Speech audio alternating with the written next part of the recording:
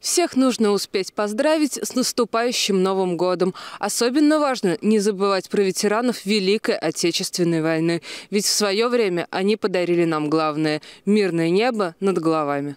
Запах елки, мандаринов и сладкие подарки – все это было забыто на долгие годы, ведь шла Великая Отечественная война. Горюнова Федора Ивановича, тогда еще десятиклассника, призвали в армию прямо со школьной скамьи в последнюю неделю декабря 1942 года. Сначала участие в боевых действиях, потом тяжелые послевоенные времена. Праздникам в жизни людей той эпохи уделялось мало внимания, да и возможность организовать торжество была не у всех. Хорошо, что в наше время мы можем поздравить и уделить должное внимание ветеранам Великой Отечественной войны. В рамках акции «С Новым годом ветеран» в гости к Горюнову Федору Ивановичу пришли волонтеры, а также Снегурочка и Дед Мороз с Баяном.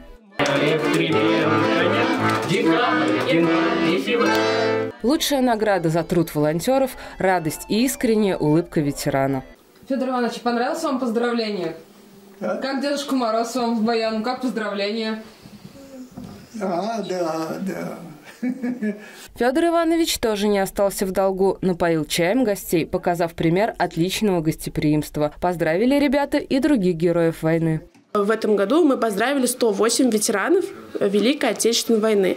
Вручили им подарки э, совместно с э, Нашими волонтерами это все было. Уже третий год подряд в Ульяновске проходит акция «С Новым годом, ветеран». Принять участие в таких мероприятиях может каждый желающий. Для этого нужно зарегистрироваться на сайте волонтеры-победы.рф. Студенты, общественники, депутаты приходят в гости к героям нашей Родины, чтобы ярко поздравить их с праздником и подарить небольшой подарок. А самое главное – уделить внимание, которого так часто не хватает пожилым людям. Юлия Руднева, Александр Кудряшов, Улправда ТВ.